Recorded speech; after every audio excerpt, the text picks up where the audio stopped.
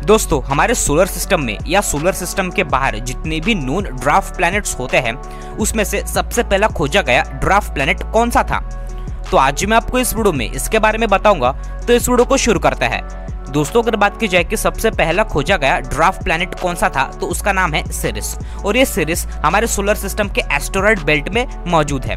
और अगर बात की जाए कि सिरिस को कब डिस्कवर किया गया था तो सिरिस को साल 1801 में डिस्कवर किया गया था जोसेफ पियाजी के द्वारा, जो कि इटालियन एस्ट्रोनॉमर थे।